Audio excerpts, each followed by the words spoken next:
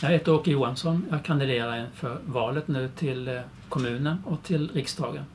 Jag är idag ersättare i riksdagen och eh, vice ordförande i stadsbyggnadsnämnden i Sundsvall. Jag är pensionär, nybliven pensionerad järnvägare och tidigare svetsare. Som vänsterpartist tycker jag att livet ska vara gott att leva för alla, inte bara för de rikaste. Men idag så ökar klyftorna istället. Vänsterpartiet vill att vi ska bygga fler billiga lägenheter.